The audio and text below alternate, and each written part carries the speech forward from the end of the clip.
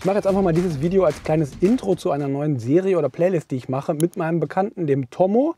Kennen einige vielleicht von Kabel 1, die Superheimwerker, Tomo der Superheimwerker. Und ähm, diese Playlist werde ich nennen Tomo macht YouTube. Tomo fängt an, jetzt richtig Gas zu geben mit YouTube und hat da natürlich so die ein oder anderen Fragen, die vielleicht auch der ein oder andere Anfänger auf YouTube auch haben könnte. Und da dachte ich mir, es ist eine interessante Serie, könnte man mal so ein paar Inhalte zu drehen, um einfach so zu zeigen, welche Probleme hat jemand, der mit YouTube anfängt und starten will. Gibt es ja die verschiedensten Sachen.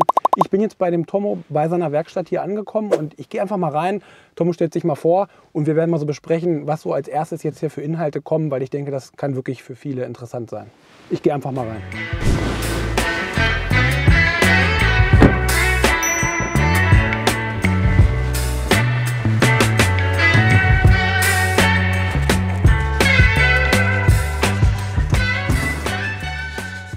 Hi Tomo.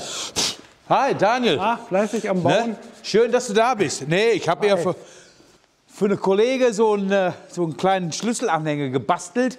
Ähm, schön, dass du da bist.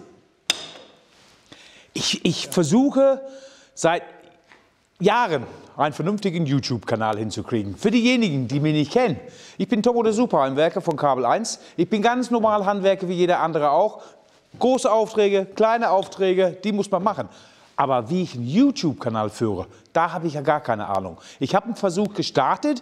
Äh, ich will ja nicht behaupten, dass es in der Hose gegangen ist, aber Zuwachs für den Kanal ist nicht da.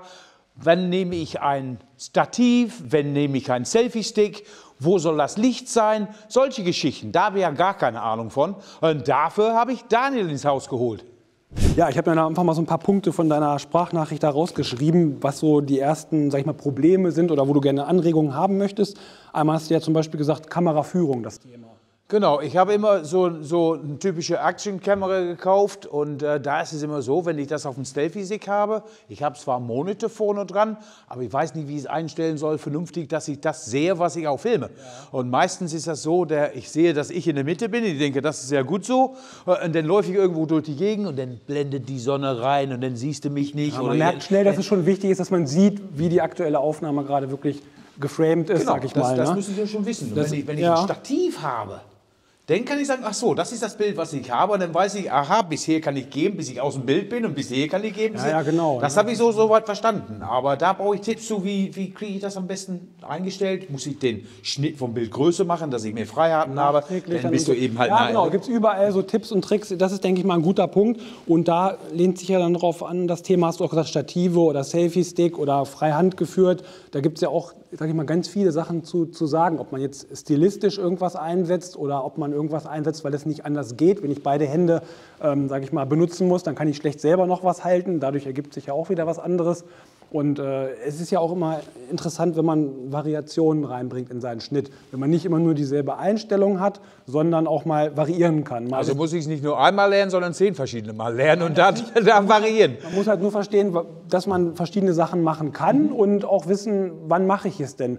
Weil zum Beispiel jetzt unsere Unterhaltung jetzt hier, wenn das jetzt 20 Minuten so gehen würde und immer nur in dieser Kameraeinstellung, das ist langweilig. es wäre sehr monoton, sehr langweilig. Okay. Ne? Und es gibt dann auch noch so weitere Kniffe, wie zum Beispiel, wenn man in einer höheren Auflösung aufnimmt, so wie jetzt, dann äh, könnte ich auch in der Postproduktion noch mal ein bisschen reinschneiden und könnte, obwohl ich nur eine Aufnahme habe, kroppen. den kroppen. Das ne? habe genau. ich gelernt. Ja, das zum Beispiel. Ne? Ja. Genau, du bist ja da nicht ganz neu. Äh, das sind alles so Sachen, was es zu dem Thema gibt.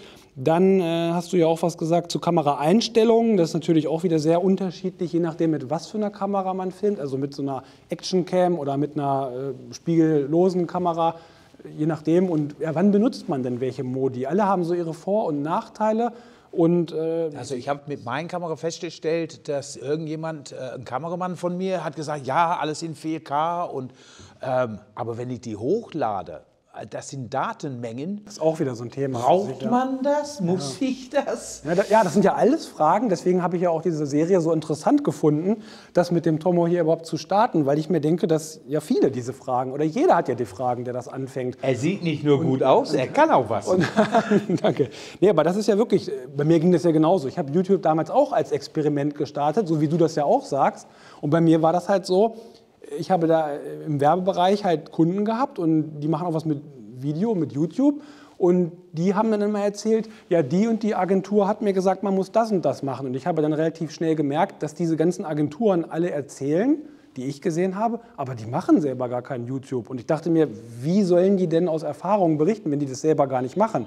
Und da dachte ich mir, ich muss das selber mal anfangen einfach. Ähm, genau, das ist halt der Punkt. Darum habe ich das auch mal als Experiment angefangen und hatte ja selber auch genau diese Fragen. Nur man vergisst das dann ja irgendwann, weil vieles wird dann im Laufe der Zeit für einen selbstverständlich, automatisch. Und ich vergesse dann auch, was haben denn überhaupt andere Leute für Fragen, weil man das halt so vergisst. Ne?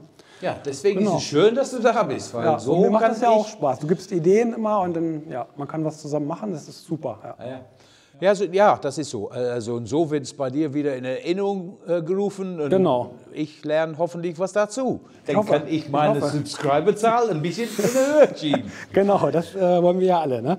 Äh, da hast du noch als Punkt auch gesagt, der Aufbau eines Videos. Also wahrscheinlich meinst du damit die Struktur an sich, wie du das aufbaust vom Ablauf. Genau, ich habe immer das Problem, ich nehme mir meine Kamera, ich mache mal einen Clip und diesen Clip gucke ich mir an. Ja, es ist okay so Nein, es ist nicht okay so. Löschen, Clip nochmal neu drehen und beim Schneiden hole ich die ganzen Clips in der Reihenfolge, die sie sind, ziehe ich die ja. in mein Schnittprogramm und schneide die fertig. Ja, ja. So, ähm, das macht aber kein anderer. Das kenne ich vom Filmdreh. Ich, ich mhm. Für Kabel 1 mache ich auch genau. nicht täglich, aber monatlich oder wöchentlich äh, Filme. Und dementsprechend da, die sind da eine Kamera und da eine Kamera und da eine Kamera. Und dann hat er von, von der Schulter und äh, ich hänge Kameras überall auf. Dieses Material muss gesichtet werden. Es genau. muss in eine sinnvolle Reihenfolge gebracht werden. Wie kann ich die Gegenshots und die Normalshots, äh, die sind denn später völlig durcheinander auf dem Rechner.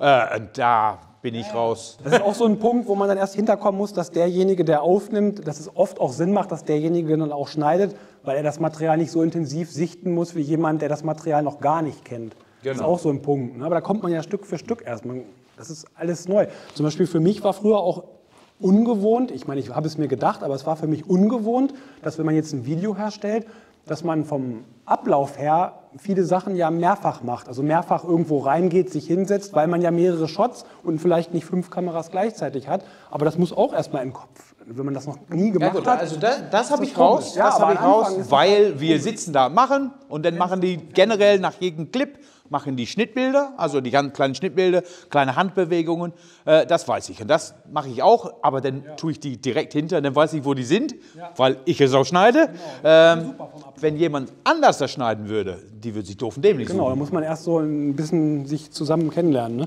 dann sagst du natürlich auch ein wichtiger Punkt, ganz klar PC, Hardware und darauf auch die Software. Ist ja auch ein Riesenthema für sich. Es gibt ja auf YouTube Kanäle, die berichten ja nur über eine bestimmte Videoschnittsoftware oder nur über Computer, welche da sind da besser für Videoschnitt und so. Also mhm. ich denke, da haben wir auch viele Inhalte dann. Ne? Genau, da habe ich mich auch klar ausgebildet, in Anführungsstrichen. Ich habe die verschiedenen Programme durchgeguckt, die verschiedenen Schnittprogramme. Äh, da habe ich eine gefunden, die für mich ähm, okay ist. Die, die ich ursprünglich haben wollte, ich habe nicht einen Rechner, der damit läuft. Ja, also Da Vinci. Ja, ja. Ähm, ich will es nicht schlecht machen, es ist ein Top-Programm sicherlich, aber es läuft nicht auf, auf keiner von meinen PCs. Äh, und dementsprechend muss ich irgendwann mal raus und einen PC dafür kaufen. Welche denn? So der IT-Experte bin ich na nun auch nicht. Äh, ich habe so, Gott sei Dank, ich habe einen Kollegen, der IT-Experte ist und der wird mir einen zusammenstellen. Ähm, kurz oder lang, irgendwann, wenn da ich dazu komme, wenn ich Geld genau. habe und so. Genau, wirklich, was braucht man da und was ist da äh, sage ich mal, welches Geld ist vielleicht falsch ausgegeben, weil man denkt, das brauche ich, dabei braucht man es gar nicht. Ne? Aber das ist auch ein super Unterthema. Äh, dann auch die Geschichte mit Titel vom Video, also der Videotitel und auch die Thumbnails, die Vorschaubilder zum Beispiel, auch auf YouTube ein Riesenthema. Denk ja, ich habe ich hab auch bei YouTube äh, so ein paar Thumbnail-Videos geguckt und, und das ist ein Physik für sich. Ähm, das ist, ich habe immer beim Hochladen mein Video bei YouTube, da gibt es ein Häkchen, die man machen muss, Thumbnail. Wo kriege ich die Thumbnail her? Jetzt auf einer kurzen Distanz. Äh, nein, äh, das muss man vorher drüber Kopf machen und diese Thumbnail erstmal herstellen, genau. so dass beim Hochladen diese Thumbnail reingefugt werden kann oder hochgeladen werden kann. Und das sind Sachen, äh, ja, da, so weit bin ich noch nicht. Auch dieses Unterthema, das habe ich jetzt als letztes für heute notiert, äh, die Nische. Also weil du ja auch sagtest, auf deinem Kanal machst du ja was zu diesen Handwerksthemen, mhm. aber auch weil du ja leidenschaftlicher Motorrad fährst, dazu, was ja auch in Ordnung ist. Und da muss man halt wieder abwägen gehe ich jetzt mehr auf das Thema oder das Thema. Natürlich gibt es auch Zuschauer, die, die beide Themen mögen, für die ist das dann auch wieder okay. Andere interessiert das eine mehr und das andere weniger. Und lange Zeit hat man ja so auf YouTube gesagt, ja, geh ganz äh, spitz in irgendeine Nische rein, mach dann nur diese Holzthemen äh, oder so. Aber das hat sich jetzt, glaube ich, ein bisschen gewandelt. Man kann ruhig andere Sachen auch mit reinmischen, denke ich, so, sofern man das irgendwie sinnvoll miteinander kombiniert. Ich sage mal, wenn du dieses Motorradthema ein bisschen integrierst mit in das andere, weil du zum Beispiel es gibt ja, manche kennen das jetzt hier, Casey Neistat, so ein ganz bekannter YouTuber. Ähm, du würdest jetzt mit dem Motorrad zur Arbeit fahren und äh, wenn du hier dein Video drehst, zeigst du noch eine Minute, zwei Minuten was zum Motorrad und quatschst da kurz rüber und gehst dann zu deinem Holzprojekt. Dann ist das vielleicht für welche, die Motorrad nicht so spannend finden, gar nicht so störend.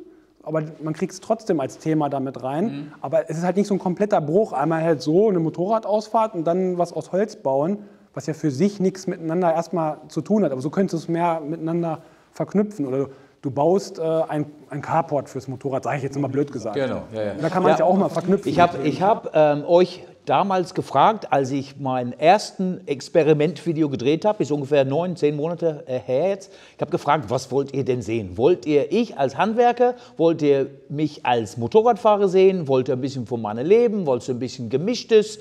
Ähm, und ich habe Antworten gekriegt, schlicht und einfach. Aber es ist ein Unterschied, ob man von 600 oder damals 500 ähm, Subscriber oder Leute, die du kennst, überwiegend sind das Leute, die ich kenne, ähm, die haben gesagt, ja, nur von dir, generell ist es doch egal, warum. Und das ist okay. Aber das ist nicht für die breite Spektrum, denke ich mir mal, das äh, wichtige Weg voran. Vielleicht nicht am Anfang. Das muss man ja, ja auch wieder unterscheiden. Später okay. sagen die dann, weil also ich habe das mal so mitbekommen, ich probiere da halt auch viel aus. Ich bin ja bei weitem nicht allwissend, überhaupt nicht. Äh, da habe ich so mitbekommen, dass man sagt, am Anfang auch sowas wie Vlogs, das ist ja heute wohl auch nicht wissen mehr so. sind nur die Frauen, das war's. genau, die wissen alles. Auch keine Widerworte. Aber ähm, ich habe da mitbekommen, am Anfang mehr so diese Themen, was schon irgendwo auf eine Nische eingeht oder was irgendein Problem behebt vom Thema, weil die Leute deswegen wiederkommen und später fangen sie wohl an, sich auch für die Person durchaus zu interessieren. Und das merkt man ja bei großen Kanälen, dass die irgendwann auch vom Thema richtig abweichen und trotzdem immer mehr Subscriber aufbauen und so, weil die Leute dann einfach mehr an die Person äh, sind. Ich meine, wenn man jetzt im Fernsehen irgendwelche Daily Soaps oder so guckt, äh, ich meine, ich gucke das nicht, aber da ist ja auch immer ein anderes Thema. Ja, sicher. Das sind, das sind Leute, die haben eher ein Zuschauerpublikum und genau. diese Leute sind eben halt bekannt. Genau. Und unser einer ist nur bekannt, wenn man sagt, okay, das ist was für mich oder nicht. Genau, man muss ja erstmal irgendwie einen Magneten haben, wo die Leute überhaupt ne, genau. einen sehen. Und deswegen, liebe Leute, ist, ich bin ja völlig gespannt, wie diesen Format jetzt wird. Das war jetzt nur ein kurzen Intro, aber nur jetzt über diese kleine Konversation ist so viel Information. Sei gespannt, guck mal rein. Er wird mich, denke ich mal, verlinken. Ich würde auch ihm, äh, ich habe ihm schon als Subscribe, also das schon. Ähm, ich denke mal, wir können alle was lernen.